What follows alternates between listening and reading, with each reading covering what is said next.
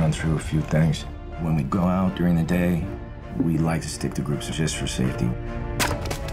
The red door. It's the only way in and out of the house. It stays closed and locked all the time. The door was already open when you got there.